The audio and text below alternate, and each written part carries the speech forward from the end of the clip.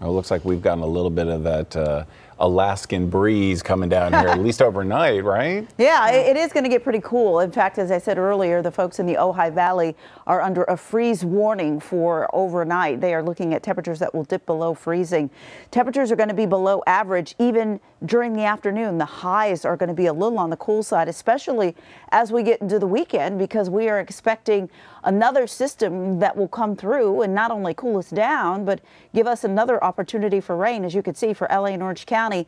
That is going to definitely happen as we get into Saturday and Sunday. We dry out for the beginning of next work week, but temperatures will still be in the low 60s. For the valleys, low 60s for you as we get into tomorrow and Friday, also Saturday.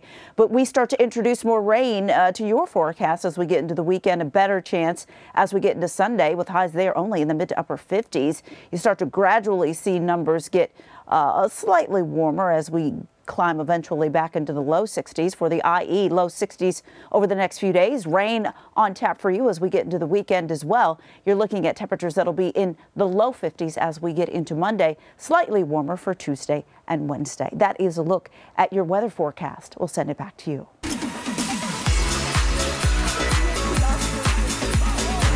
Together, we have collected thousands and thousands of toys, bringing smiles to the faces of so many children. And this season, your help is needed more than ever. It's time for the Chips for Kids Toy Drive. Join CBS 2, KCAL 9, and the California Highway Patrol by bringing a new unwrapped toy to any of our drop off locations or your local CHP office now through December 23rd. Let's make this a great holiday for everyone. Get CBS News Los Angeles on the CBS News app. Download now. Got your phone handy? Of course you do. Scan this right here. Download the CBS LA app. And just like that, you're connected to all the best local news and videos. Now, if only everything were this easy.